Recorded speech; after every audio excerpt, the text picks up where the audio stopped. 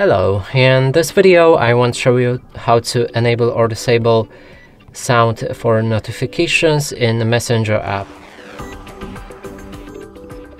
And to do this we'll need to open our Messenger app and inside click on these three lines in the top left corner of the screen and click on the gear icon.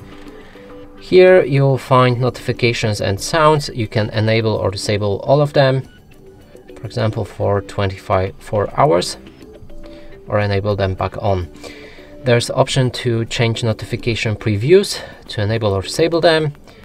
Uh, enable or disable to light up your screen during the notifications. And uh, also change notification default sound. Ringtone for uh, any calls. Option to vibrate on ringtone. In-app sounds like uh, when you types type in or somebody else starts typing uh, new friend notifications and also you can go right here manage notifications to change any behavior for uh, notifications on the messenger app. And that's it for this video. Hope you like it. Please consider subscribing to our channel. Leave a like and a comment below